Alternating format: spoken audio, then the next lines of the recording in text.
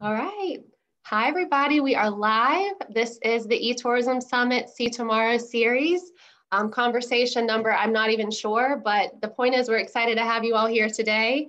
Um, we have MMGY, Brandon Billings, um, and several destinations, as you can see on your screen, from around the country who will be joining in today's conversation, which is really exciting. It's about harnessing social to fuel the travel recovery. And um, it's it's a kind of a different topic than we've had before, so I'm really excited to kind of get new perspective on a new, uh, new subject matter. Um, before we jump in though, I did want to mention a couple things.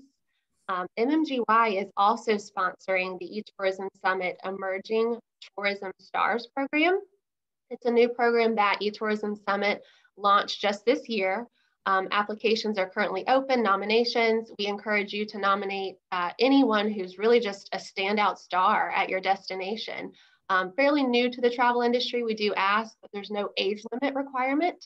Um, the really you know good thing is it's just someone who's killing it day to day. It could be a social media manager, right, relevant to this conversation, or really just anyone at your destination. So I encourage you to check out more about the Emerging Tourism Stars program on our etourismsummit.com website. Um, another cool thing that eTourism Summit is um, known for, and one of our awesome things that uh, Lori Joe Miller Farr puts together every week is the Travel Vertical. Um, that is a free e-newsletter. Um, in addition to that, we also recently launched the Travel Travel Vertical podcast that Lori and Adam Stoker from Relic co-host every other week. So a new episode just uh, launched today. So again, check that out on the travelvertical.com. And then lastly, we just hope to see you all um, at the eTourism Summit in person, September 20th through 22nd in Las Vegas. We could not be more excited, as I'm sure most of you are, just to see each other in real life, um, just, you know, handshakes or not whatever you feel comfortable with, but we are just excited to see your faces. So really check that out. Um, encourage you to register and um, yeah, hope to see you there. But without further ado, I want to go ahead and kick it over um, to Brandon, and he's going to start the conversation today. Thank you so much, Brandon and MMGY, for sponsoring today. We are really excited to have you all here. Thanks, Becca. You know, I think we're as excited, I think, as we've kind of led up to this. I, I, definitely think there's an excitement that we're all feeling across the industry. You know, you're feeling travel starting to come back. Um, you know, within this panel, you have Kim Sidoriak with uh, Santa Monica Travel and Tourism, Matt Sheaff with Rhode Island Commerce, and then Courtney Hersel with the beaches of Fort Myers and Sanibel. So really a nice mix of audiences. And how do we start to talk? Um, what do we look at? What are some of the indices as we think about social as well as travel and how it's starting to rebound. Again, we'll talk through some of the record numbers we're seeing. From a format standpoint, just for, to kind of anchor ourselves, you know, we're going to start with a little bit off the top. We want to talk quickly um, through what is the data, data telling us. We have to be rooted in where's it going and how do we really use data-driven insights and research to really inform our success forward. Then we're definitely going to jump into that panel discussion, have great conversations, um, a lot of wonderful questions. And then as we kind of wrap up the end, really allowing time for the audience, for you, the audience, to then come in and ask the questions that you want. So I'm going to take the first part and I'm going to share my screen um, and just kind of talk a little bit about what are we seeing today. So again, as Becca said, we're focused so much on harnessing social and the the the to fuel travel recovery forward. Um, but again, just kind of where are we? what are we seeing? What is the data telling us? Um, you know, one of the things we've longstanding um, from MMGY, we do a traveler sentiment index. And what this tells us is it measures interest and overall intent to travel.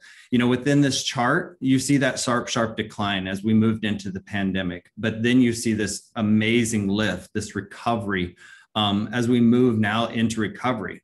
Um, looking at these numbers, you know, we're seeing numbers that we've never seen before. Um, you know, 35 points we've led from a recovery standpoint in just those nine months. To put this in perspective, um, it took almost six years to grow 36 points following the 2008 2009 financial crisis. So, to say there's travel demand, travel intent, that people are excited that when they were told they couldn't travel, you're definitely seeing this now in terms of they can, and here's where it's going.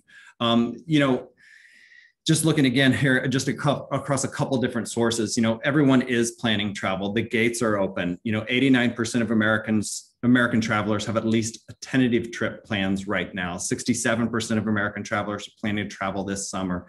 62% of American travelers are planning to travel over the next six months. I mean, I think we're all there. We're even starting, you know, as, as uh, from MMGY standpoint, really looking at offices around you know North America and the globe, how do we make sure that we're touching base with our offices? So also how are we starting to look at business travel? Um, one of the things that we really anchor ourselves in, I think we have the traditional side of research with MMGY and so much robust information there, but also how do we start to leverage real-time data informed through listening? Um, we work with NetBase Quid, which is an enterprise level social listening platform. Um, we, as we think about how do we start to approach, what is that social voice of travelers? So really understanding what's, what's the makeup, what are they talking about? What's the sentiment analysis? We're the official provider um, to US Travel Association, their travel recovery dashboard and really just again just understanding not only what are they talking about broadly but what are they talking about at a, at a destination level? So really using ai insights. Um, so what is it saying? So this is a chart um, and it's and it's pretty amazing. We pulled this just recently and i started to pull this and i was talking with some teams and i'm like why are we seeing the crying emoji? I've seen the crying emoji for the last 13 months. If i see that one more day i'm done. And as we start to lean into the data we start to understand what it's telling us. And it's not the crying emoji, it's the tears of joy. People are literally using the tears of joy emoji to really express the excitement that travel is back, that they can travel. And I think emojis are such a critical element as you start to analyze you know it's there's you put so much thought into which emoji you're using that i just think this is such a clear indicator. The other thing that we really looked at is travel engagement uh, across social. And again this is around people sharing their you know social voice of travel. These are consumers. Um, really getting down to that root but you see that 94% increase month over month in travel engagement. What this tells us is the days of travel shaming are far behind us, and everybody is celebrating and embracing each other's travel um, it's just such a i mean from where we were this time last year to where we are today i think we're all we're all having those those tears um, you know crying for crying for joy.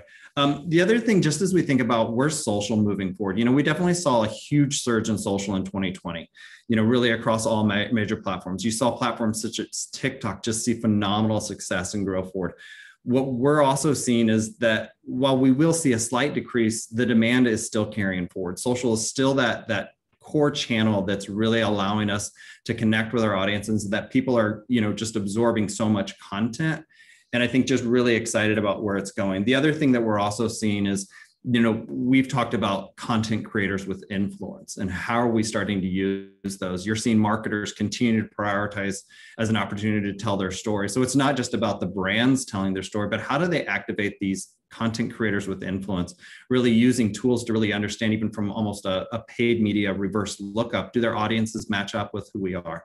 Um, but you're starting to see this huge shift um, really in paid budgets where so much is now being put forth towards this paid influencers and branded content program. So, you know, that's that that's all the kind of the the dog and pony show we have on that. We now want to really get into those questions. So just kind of starting off from a group standpoint, you know, where each of you right now as we think about travel recovery across your destination. Courtney, do you want to start with this one? Sure. Um, so the way that we approached um, our recovery plan at the beaches of Fort Myers and Sanibel was a four phase approach. So first um, phase being wait, second being ready, third being set, and the fourth being go. So right now we're kind of lingering in the set phase um, as people are getting more comfortable being out in public. Um, maybe people are already traveling and they're thinking and already in the mindset of trip planning. So um, we're kind of in that set phase right now within our recovery plan and um, just adapting daily on you know what the different sentiments are. Matt, do you want to take next? Sure. So we are we are all systems go. Um, throughout the pandemic, we have kept in always on approach to promoting Rhode Island and to come visit in a safe way. Um, focusing on a drive market and uh, beginning this Friday, we will be at 100% capacity across all of our industry sectors. And so staying on throughout the pandemic in a smart way, saving resources and using them strategically has led us um, be able to to approach this moment of being on and open and really maximize to get our travelers to bring our summer back. Kim. So in Santa Monica, um, we are doing um, full campaign advertising um, launched in April. Um, California had stay-at-home orders in place until early January, so this last year has been very fluid and very start and stop um, oriented. But in terms of hotel performance, um, we're seeing occupancy rise steadily since January um, and um, rate maintaining a pretty strong rate, but definitely looking at a very strong summer. Um, I think there's a perception uh, in the country of California being more restricted and more closed. Um, so we really um, have to do a lot of work to to fight that. But as of June 15th, California will kind of go to a no restrictions phase. So definitely looking for a strong summer. Yeah, it's amazing just to see as everybody. I mean the the sentiment across is strong summer, strong summer, strong summer, and ready to go. Okay, um, getting into more of the, the social question. So understanding that social required quick turn pivots over the past 15 months, what are the key areas you adapted your social media strategies to help drive recovery? Uh, Matt, you want to take this one first? Sure. So we we focused on always keeping Rhode Island uh, front and center and promoting Rhode Island and the things we were doing uh, in a safe way. So when the government put in restrictions and, and switched to maybe just outdoor dining instead of indoor, we had to quickly respond to that. And so we we launched an effort uh, called Take It Outside, and we switched our social platforms and our website to be a one-stop resource so folks can see here are ideas and things you can do in Rhode Island this weekend even though there are these government restrictions out there. There are still things to do safely in our state and you should still keep it on your mind as you're getting stir crazy in the house and come experience. And so as the the rules changed weekly sometimes it seemed weekly sometimes daily uh, we had to be nimble and agile to continue to make sure what we were offering was also up to date so people had the expectations of what they get when they were here. I'll also say we quickly shift, shifted when a mask mandate in place went in place to have the creative we were putting out there reflect what was actually on the ground. And so we used uh, local influencers, I know we're going to talk about this in a bit, to get us user generated content wearing masks so that we were uh, promoting what people would see when they actually got here. And you could do your favorite activities still wearing a mask under the, under the guidelines. Kim? Um, so we really shifted our focus into highlighting um, local businesses. Um, one of the campaigns that we created was sort of a how-to Santa Monica video series where obviously in our roles, we kind of needed to do some PSA work in terms of um, communicating what's expected and what the local regulations are and, and how to go about life in this very unique time. So we balanced that with the need to promote local businesses. So we created a series of videos um, like how to how to shop local, how to stay active, how to dine out right now, where tips were shared by local businesses themselves. So they sort of got a free commercial on our platform while we're also cre uh, creating public safety information content. Courtney? Yeah, so I love this question because um, it's interesting to think over the past 15 months, all that has happened. And I'm sure all of us have adapted, like Matt alluded to, on a week basis, on a day to day basis, and we're still kind of navigating the space. But I think um, the two things that come to mind when I think about our strategy was um, our messaging being adapted um, pretty much on a daily basis, evaluating that, especially when the pandemic really um, hit hard in the beginning and not really knowing where we where we need to go, what we need to do and say, um, and then just content overall, right? Like, you know, our images, evaluating what images we're sharing. You know, for us, we're located in Southwest Florida, and you know, our beaches are our bread and butter. That's what people come here for. So to share images of people basking on the beaches is not something that would really resonate that um, with people. It was, you know, evaluating how people were feeling, the sentiment around this whole pandemic, everybody feeling so different. So really, um, for us, um, from you know adapting our strategy was just our content overall everything from um, you know our messages and our text copy to um, advertising which was something that we pulled um, early on. We we stopped our paid ads in the beginning. So um, i think just the fact that you know everything was kind of under a microscope and making sure that um, the content that we're pushing out and the messages that we're sharing with our followers were um, relevant, but also not, hey, look at me, come to the beaches of Fort Myers and Sanibel. It was more about like, hey, here's the information that you need right now. Uh, maybe it's time to stay home. Maybe it's time, um, you know, to entertain them, which we had some fun campaigns, which I know we'll talk a little bit more about in some of the other questions, but finding ways that we could really just engage with our, our people um, and not make it all about us and getting them to come here. Yeah. Brandon, it's really interesting where Fort Myers might have downplayed the sandy beaches and whatnot. Rhode Island being nestled between New York and Boston, and knowing that people were escaping the big cities, we were targeting those folks to come to Rhode Island. We got 400 miles of coastland. You can get a great deal to work remotely at, at a hotel. And so we played that up. So it, it's interesting to see our, our different regions and the strategies we, we took during COVID to adapt. Yeah, I also I also think it's interesting. Kim and I were talking a little bit as we were kind of working through, as we as a group were working through. I think the reaction from local businesses and the support that we started to see from them. I know one partner that kind of hit me hard was we saw a comment back from a restaurateur and we're asking them to participate in a program and his comment was i'm just trying to keep my business afloat and so much of what we had to anchor our teams in is that there's a little bit of emotion behind it because these are people that their lives are being uprooted and social allowed us to at least come in there and help them and support and truthfully keep those frontline workers and you know and, and really moving that business forward. So i think there's just that emotion. It was such a i remember i was sitting working from home i'm in the office for right now uh, but i was working i remember i was out on my deck reading through emails and i remember reading that email from the restaurant and he's like i'm just trying to keep my business. I, I appreciate everything you guys are doing um, but I think it's it's just such I I still thinking about it today. I just think from where his shoes were, um, kind of where that was. So, um, next question: um, Many destinations move their marketing to a hyper local focus and supporting businesses to that degree. What types of programming did you develop to support these partners? Uh, let's go with uh, Courtney.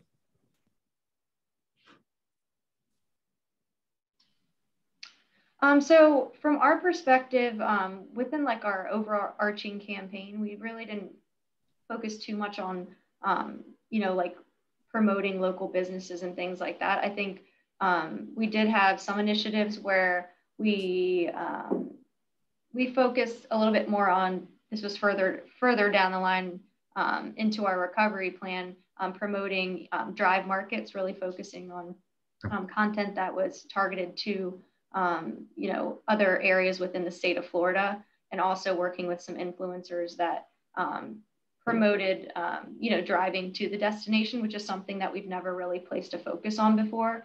Um, but in terms of um, specific like local businesses, uh, we didn't have too much of a focus there, but just really trying to um, amplify the idea of bringing people to the destination within drive markets. Matt? So we partnered with a local business called Del's Lemonade, um, and uh, it's a frozen treat. And uh, if you come to Rhode Island, which I would like you to do, uh, you don't need a straw when you eat your Del's. Um, but our premise was um, make lemons out of lemonade. And so uh, Del's partnered with us. We sent some of uh, these Del's boxes to some of our key media and also some of our local influencers. Uh, we also did a, a a hyper-local campaign called Rhody Resilient to kind of rally the Rhode Island community together to know that together we're going to get through this.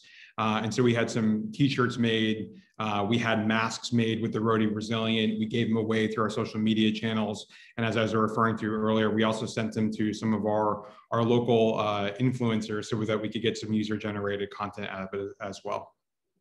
And then. So our recovery campaign that um, really got going uh, late last summer is called Santa Monica Shines, and it included paid advertising, social, etc. But one main component from a local business standpoint was our Santa Monica Shines assurance program.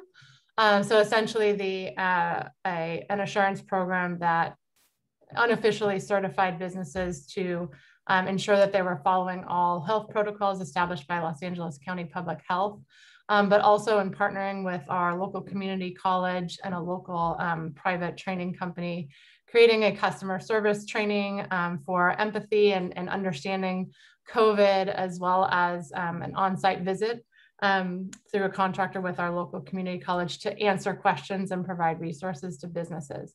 As a founding partner for that program, um, our organization kind of took the marketing arm of that so um, we promote uh, each each week, whatever the latest Shines Assured business grouping is, we promote that heavily on our Instagram channel, um, our social channels, email, website, etc. Um, and that's also a catalyst to get more businesses to go through the program because they're um, being promoted off of our channels, which is you know a, a, way to capture a larger audience than those businesses can do for themselves. That's amazing. Um, next question here. Part of the role of social really has been to maintain a presence and help inspire hope. I think that's part of, you know, as we think about how do we driving inspiration to keep the brands relevant, to keep the destinations. So as we move through the year, so what types of responses um, have you seen from your audiences? Kim, do you want to take this one? Yeah, I mean, going back to the local business standpoint, that was really um, a, a wonderful thing for us to see that what we were doing in terms of promoting local businesses and engaging with them on social um, we really saw that like instant reward of of the the businesses coming back and resharing what we were sharing about them and and just wonderful to see um, you know how appreciative they were and how to see that relationship in a digital world um, just sort of new new deliverables as a as a service provider to businesses um, but then definitely uh, for the folks who are following us or who are further away um, you know we kind of balance that need of okay, let's communicate how to visit safely, what the experience looks like right now. But let's not forget that this is a destination that can be a restorative experience for folks. So when they're ready, uh, you know, coming to the to the beach and to the coast and getting out of their their four walls of their house, um, having that inspirational, aspirational content out there balanced with the tactical. here's what you can do. Here's what you can't do. Um, so I think the balance of uh, the engagement from the customer who's looking for that inspiration and then also um, seeing the engagement from the businesses themselves and just just being grateful for uh, what we're doing for them Excellent.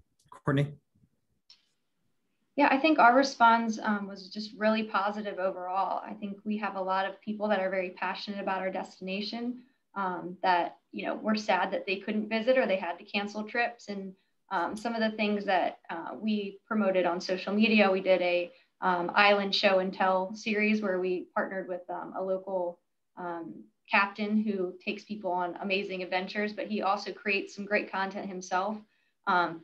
He was basically the voice sharing just um, in, in the summer months, we have tropical fruit season. So we have amazing mangoes that grow on some of our islands, and we have incredible seashells that come on Sanibel. And for people that aren't able to travel and that are missing, um, you know, their vacations and that are missing the sunshine and missing that feeling of getting away, it was almost just a little way that we could offer these um, just little glimpses from a local point of view um, into, you know, these vacations into, into the places that they couldn't, you know, visit at the time. So, um, and I think, you know, people being able to see that all we would get was, I'm, I'm, thank you so much. Thank you so much for sharing this. We miss you. Um, you know, a lot of people are stuck at home with their kids, and a lot of these videos had a little bit of an educational component to them too. So it was almost like edutainment for their families as well. So we saw a really positive response overall, and it was just great to have those types of conversations with people. Um, you know, really getting social on social media, getting back to the roots of you know what we do and why we do it. Matt. I'll just say uh, the tourism and hospitality sector is such a major driver of our local economy. And so uh, when folks think of Rhode Island, we think of the beaches and the summertime, and, and people come here for those. And so we don't really have to promote it for the summer. But our effort in, in COVID or non COVID times is to get visitors here for the fall, the winter, and the spring to keep the businesses supportive. So one of the initiatives that we did at, at the state is we invested some of our federal stimulus dollars to help bring more activities outside. I'm talking like literally building an outside uh, ballet stage so we could have the Nutcracker outdoors, funding blankets for restaurants so that they could have dinners eat outside, paying for It's a Wonderful Life to be broadcast on the radio, and so keeping some some things in a more in a I hate to say the word normal, but because none of this was normal, but having activities so that people could do which sustains business activity and, and keeps people employed. The response we received on social media, not just sharing pictures and selfies from these things, but the thank yous was was was so rewarding. And a lot of these outside trends that we've established are going to continue, uh, it seems. So that one positive that's come out of this. Yeah, it's pretty amazing. I mean, just in terms of how business has shifted and how, you know, even the little things um, i think were just such a positive. Um, you know we talked about influencers and content creators. Um, what are some of the things you know i think as they've come in and been a central part of our messaging um, and allowing them to kind of own some of the voice and carry that forward and helping tell our destination you know have you used them to develop unique content? Can you talk a little bit about that? Matt do you want to start Sure. So I, I, mentioned it a couple times. We used our user-generated content to uh, highlight and promote what what it actually looks like on the ground in Rhode Island. So it was the pictures of the mask wearing. It was the Rhody Resilient T-shirts. It was showing that you can still go for a, a, hike in the woods, or you could you could visit this outdoor attraction. And so uh, our user-generated content actually did quite well. We were able to drive nearly uh, 15,000 impressions, over 200 link clicks just from a group of 35 influencers, local influencers that we had. And if you add it together with our other UGC assets that we had the community sending to us, uh, we had over just nearly 400,000 engagements and 37.4 million impressions. And so, uh, and this is content that we're going to continue to use in our upcoming campaigns and are using right now. And uh, in the age we're in, people like real, like local, not staged. And so th- this is this is where we're going, and it, it was great to to be able to use it and have it. Courtney.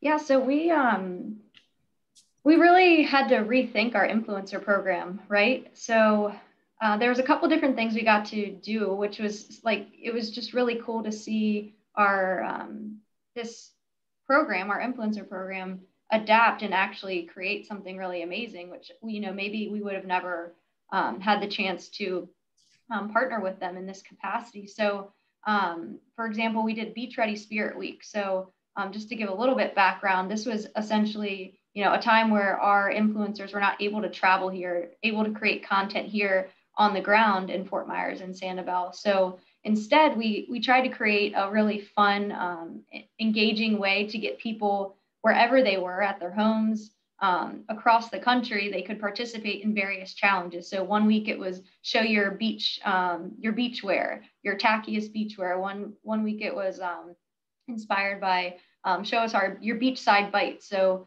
featuring different foods around the destination, um, and then at home beach retreat. So we actually got this idea. We had um, a German family actually recreate one of our tiki bars that reside on Fort Myers Beach, and they sent pictures in.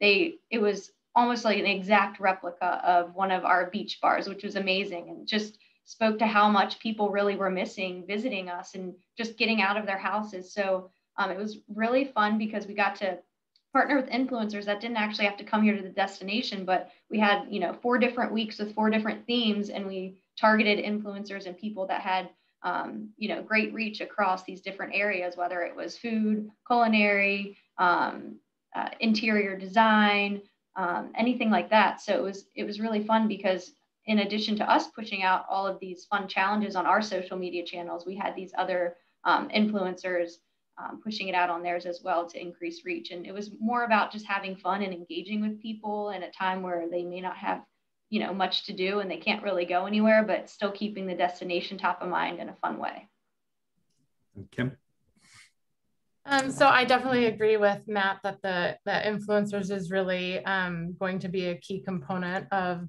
of marketing destinations um, as we move forward. I mean, if you think about uh, the level of investment that we make in, in public relations and, and journalist familiarization tours and what you can get out of influencers just in terms of rich content. Um, it's really, it's really amazing. Um, so for the city of Santa Monica, they established a, an economic recovery task force and, and um, folks from my organization are on the outreach committee for that. So last uh, winter holiday season, um, we did host a few influencers to focus on shopping local for the holidays. Um, so entertained a few influencer visits and just in working with our local business improvement districts, getting the influencers out into those business improvement districts, showing what they shop for, what's unique gifts for this year, what is, uh, you know, what are gifts that are responsive to folks working from home, where can you find these items? Um, so that was a very like quick return, um, you know, local feel good stories. Um, and then as we run our, our, our full recovery campaign now with paid advertising, we are looking forward to hosting a couple of influencers over the next two months, um, kind of targeting further, further away markets um, and really looking forward to creating rich itineraries and again, the, the content that we'll be able to get out of these influencers, we're really looking forward to, to seeing that come to life. Yeah, it's pretty amazing the, the content that you get. I think part of as we start to analyze again is just we almost look at them from a from a paid media side of a reverse lookup. And we have tools in place that we use to just understand who is the dynamic you know there's kind of the the quant side and the qual side as you think about influencers and what's the content that you're going to get. But it's definitely something we're seeing continue um, and pretty aggressive, aggressively if we set off the top. I think one of the things we talked about, um, you know, as we think about what are some of the social platforms that you're seeing the most success in driving growth and speeding recovery. I think, you know, you've seen the emergence somewhat of TikTok, but you still have your tried and true with Facebook and Instagram. So just to open that up to the audience, Matt, do you want to start? Sure. So Facebook continues to be our biggest driver of traffic and engagement, and it's our heaviest budget on the paid social front. But I will say, uh, you know, being home on the couch, scrolling through TikTok, I, I, have tried making the chaffles and learning the dances, and I won't do that so I don't scare the audience here. Um, but we did branch out and launch a TikTok channel, and uh, it took off and has been very successful. And one of the things that we used on TikTok is, is, we did a hotel week here in Rhode Island. So we did a two weeks for hotel week where we had uh, hotels across the state uh, from our high, high, high end luxury hotels to our, our, our low end budget hotels set a fixed price, which we target. And so we targeted to Rhode Islanders, Rhode Islanders to give themselves a staycation and, and encourage out of state folks to come here and visit safely as a way to help boost our, our hotel numbers. But uh, it, we launched this campaign on TikTok for Hotel Week, and it and it's tick uh, it has really taken off, and I'm we're going to continue investing in it. And uh, just over since we launched it just a couple months ago, we already have 2,000 followers to the account, over 2.5 million video views, and nearly 50,000 engagements with people duetting our clips. Uh, and so I'm, I'm excited to see where that's going to go from here.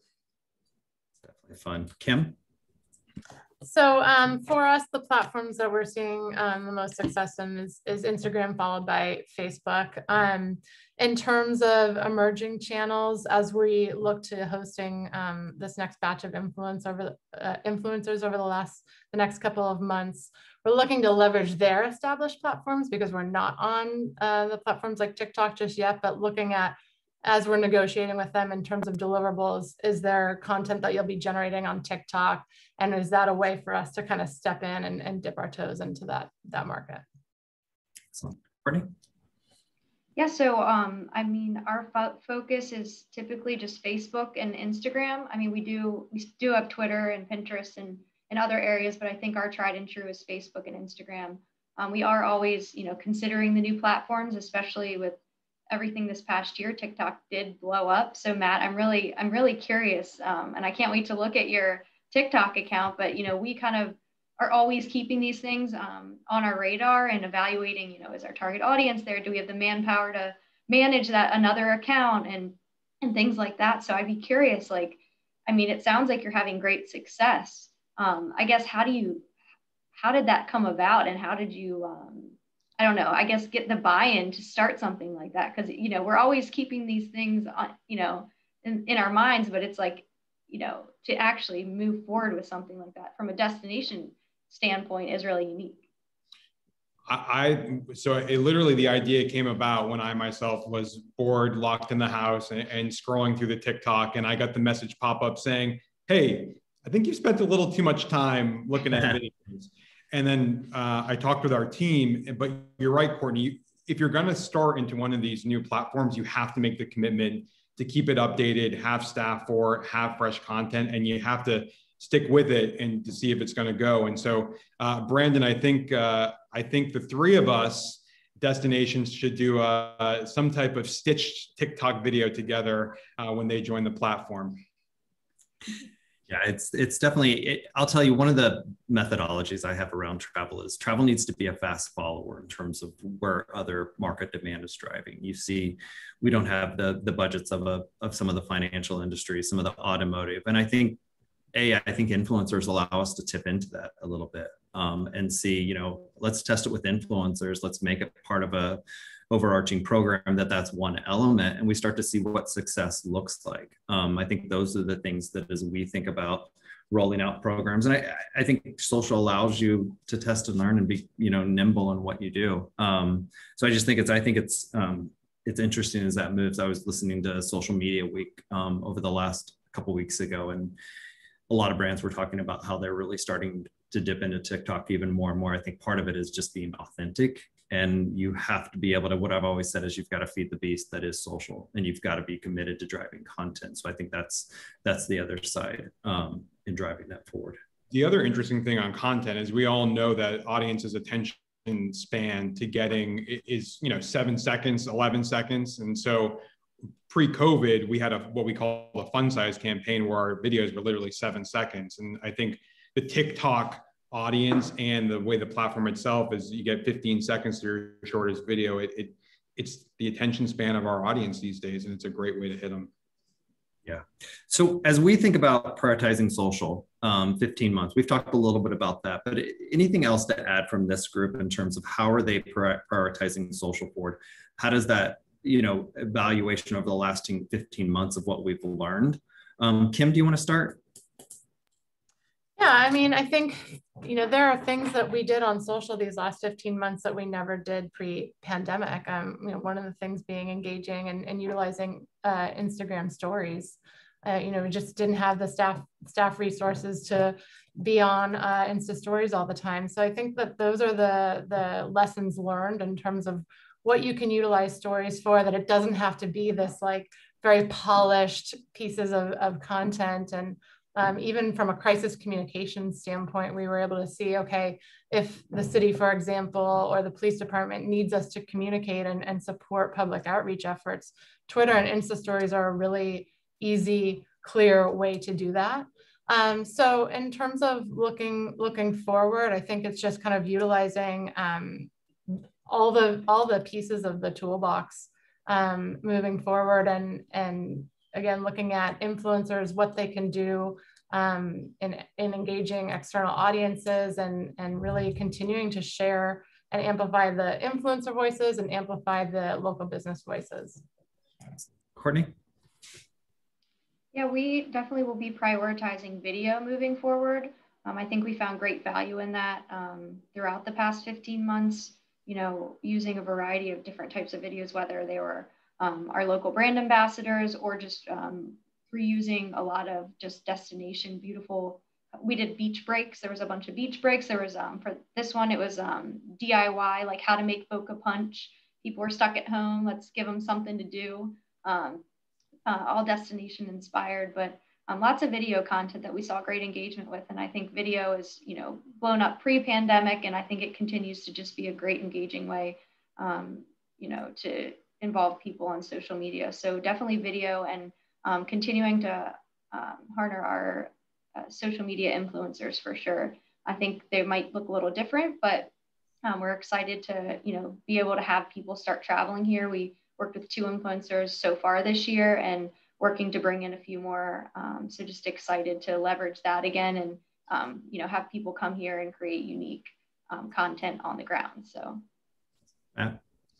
I just want to echo what Courtney says about video. And the great thing is the iPhones, the quality that you can capture right on an iPhone is, so good and and uh, that that you can with some simple editing skills, or you can really have fresh content, fresh videos at the palm of your hand. You don't have to do the old school of way of hiring a videographer to come out and, and shoot and stage.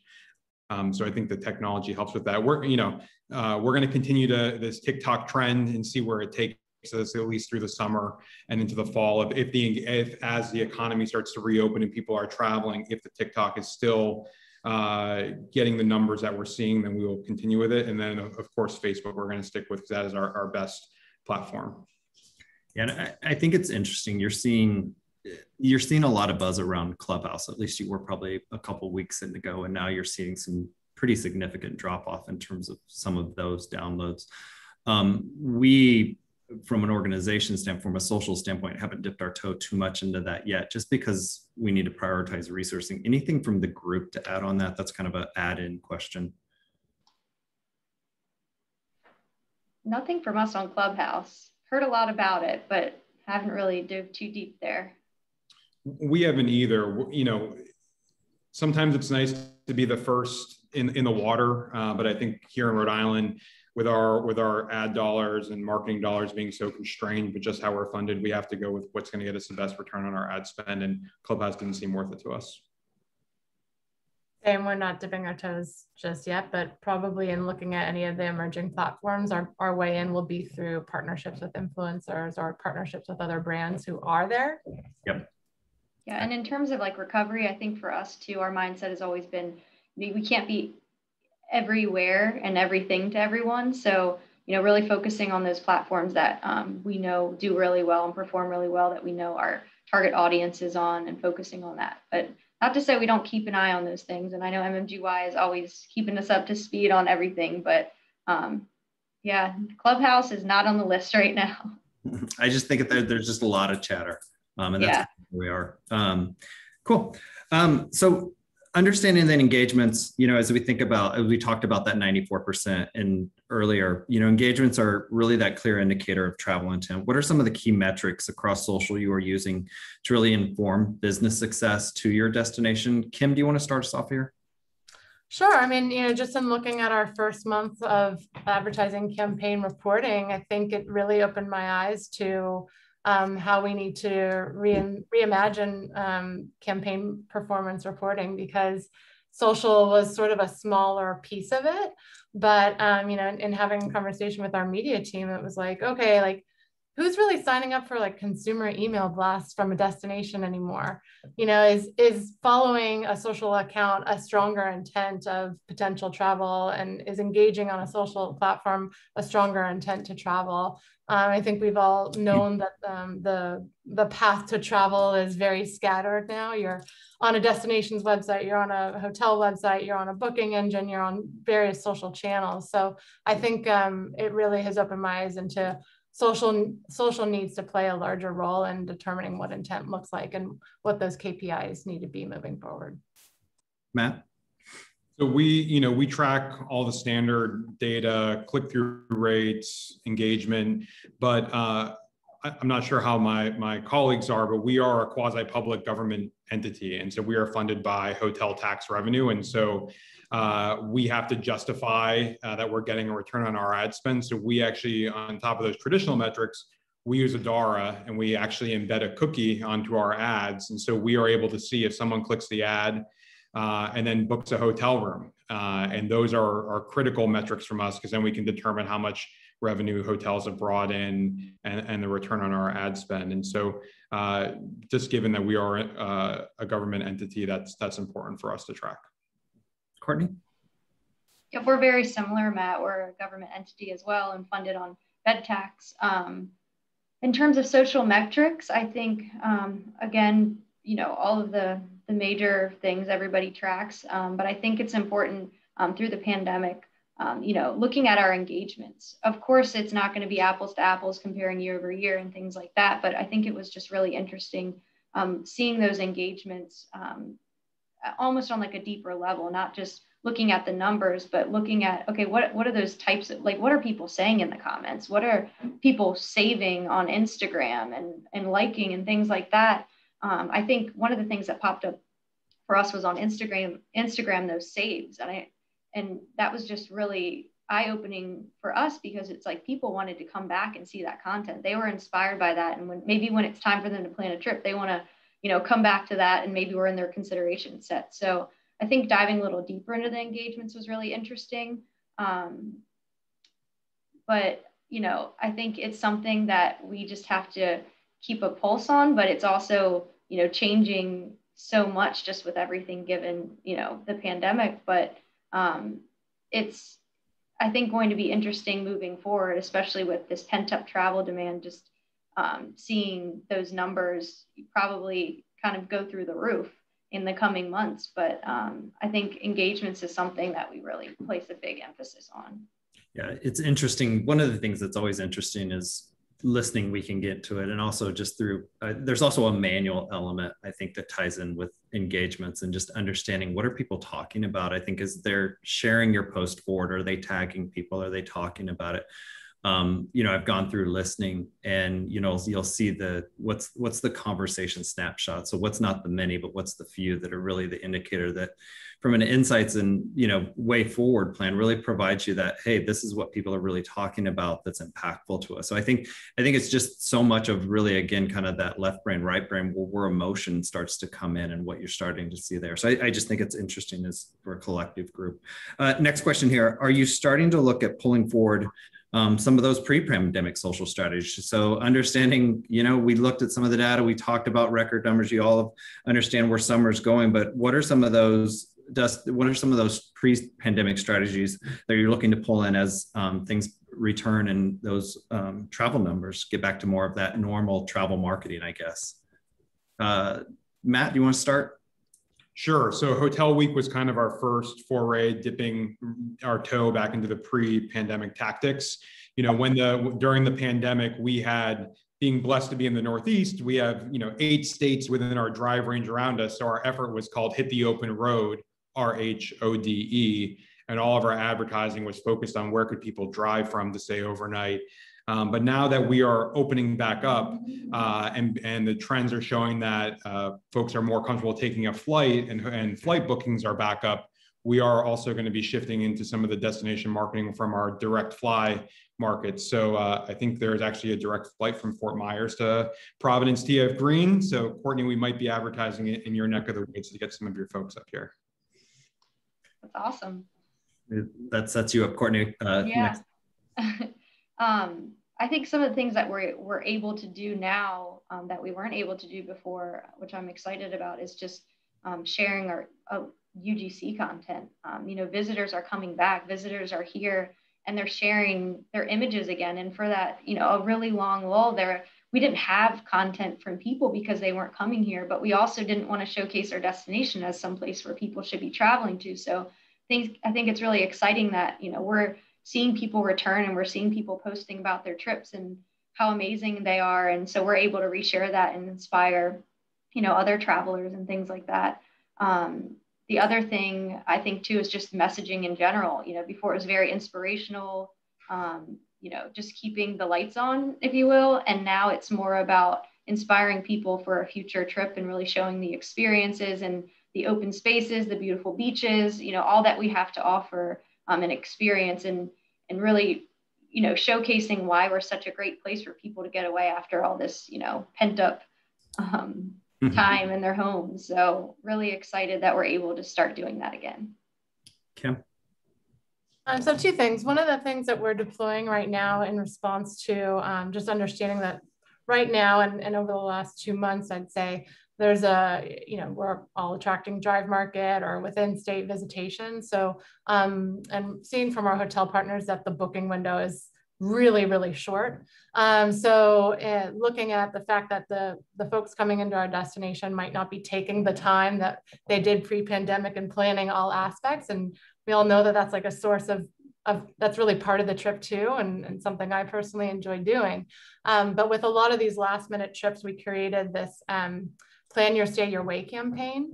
Um, and that's just doing this kind of micro itinerary focus where it's like okay if you're into self-care and wellness here's five recos for you. That way you don't have to go to tripadvisor and sift through the blog posts and ask the friends for recommendations. We're kind of here for you. So we're deploying that on a weekly basis according to different interests whether you're a foodie or a family into wellness and self-care or arts and culture. And then one of the things that we're looking at uh, returning to, um, Santa Monica's visitor base was about half international. Um, and that's a really good sustainable recipe for our destination. Obviously, international travelers stay longer, spend more money, and are more likely to use public transportation, which is important for Santa Monica. So um, as we, as the pandemic happened, we were already investing in international markets, um, and all of those contracts had to be closed down. So as we're dipping our toe back into the international market side of things, it's a very layered approach. It'll start with, um, you know, travel agent training again, what's the latest, what's happening, and then layer on top with public relations and consumer campaigns. Um, but one of the things that I think will be a big focus of ours moving forward is whether we're doing partnership campaigns with airlines or tour operators internationally, um, the social piece of that will be a much bigger priority moving forward anybody else on the i think international was our final question on here. Um, i mean i will tell you that from our side we work with a handful of international brands um, on the mmgy side and we're definitely starting to see some positive movement there and when things start to open up and um, kind of working through some of that. Anything else to add from this group around international? I'll just say we're slowly dipping our toe back in the water, especially for group tours. Um, also, as part of my portfolio, I'm uh, responsible for business attraction with the offshore wind sector in the Northeast playing a big play in the quality of life. And so we're slowly dipping our toes. Are you know, it's there's still restrictions with Canada, which is uh, the closest to us. Uh, so we're planning for it. We're not ready to, to jump in full speed, but we're, we're starting to get ready for it.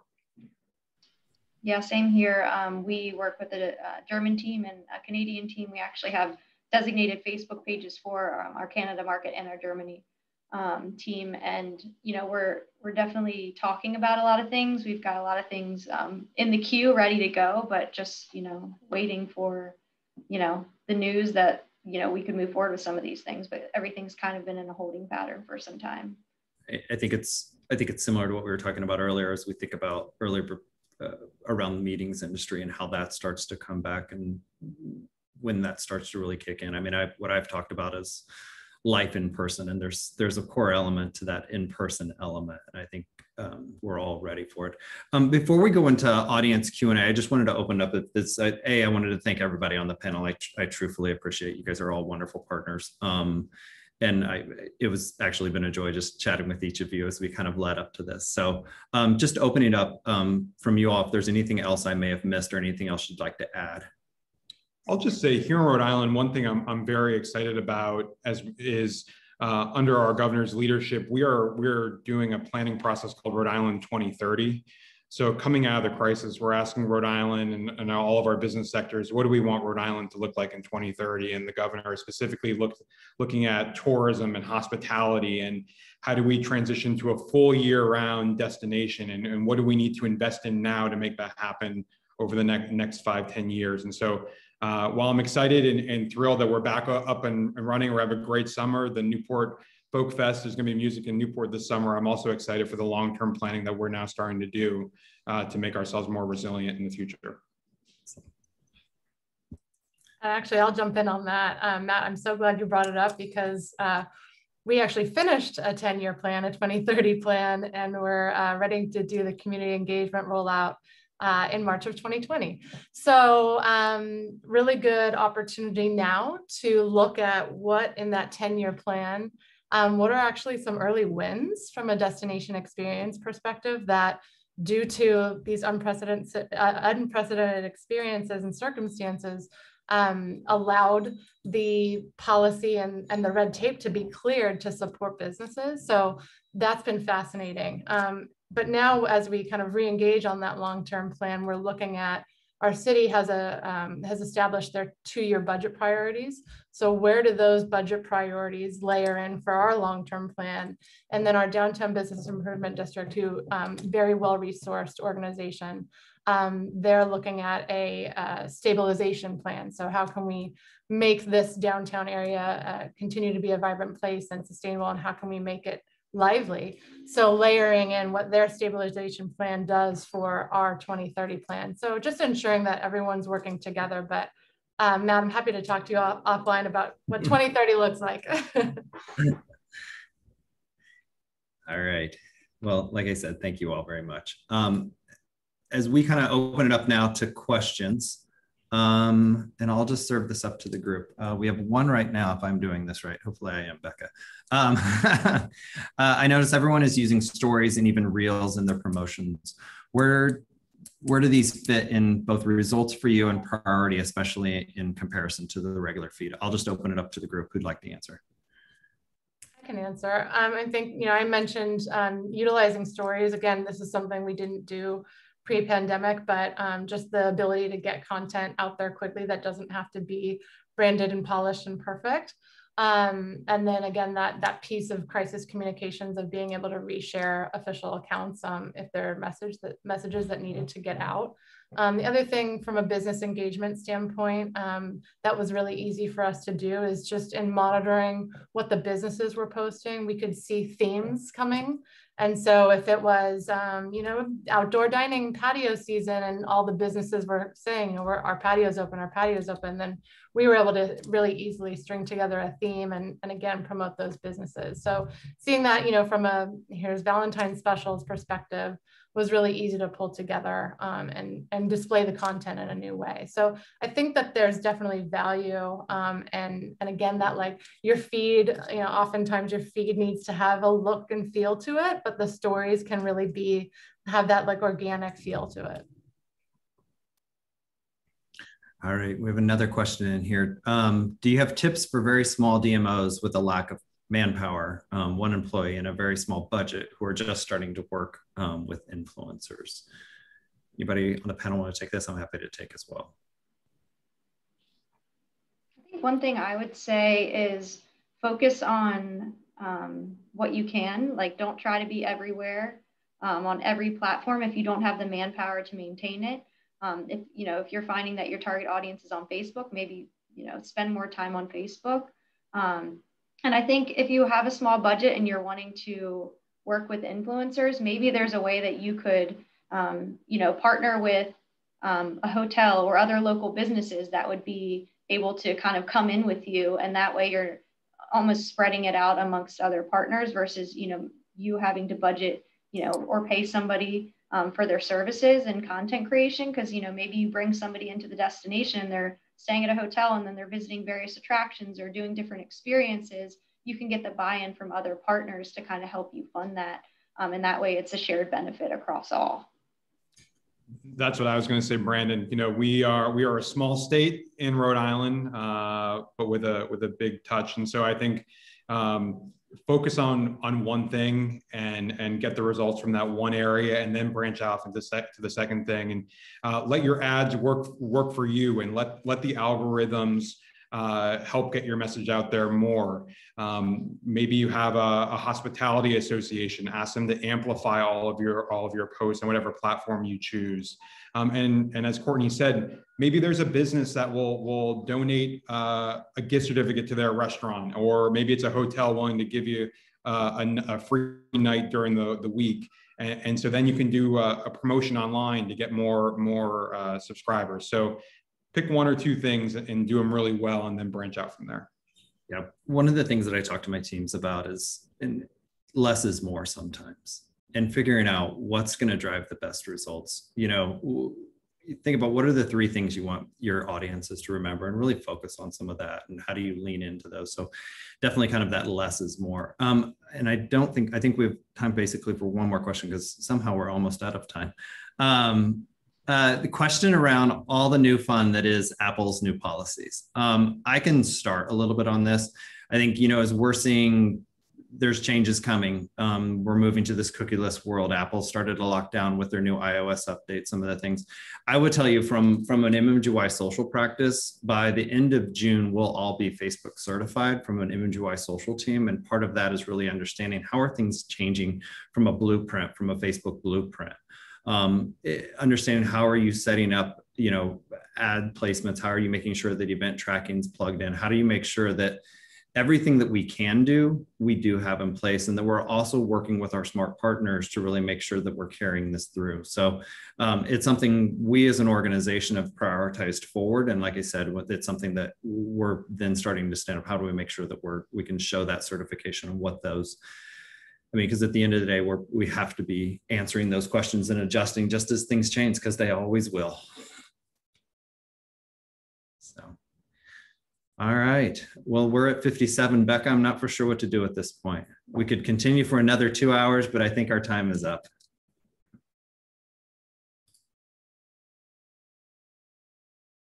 Yes, we are at our uh, hour mark. I just want to thank everyone again for joining us today. And um, it was really awesome just to hear from all of you. Again, all destinations from around the country, different viewpoints, but also a lot of similarities that we heard today. We'll be sharing this all um, in an email for all those who registered with top takeaways as well as a recording um, of this presentation. So we'll hope to see you again in a couple weeks when we have a new conversation. Thank you all.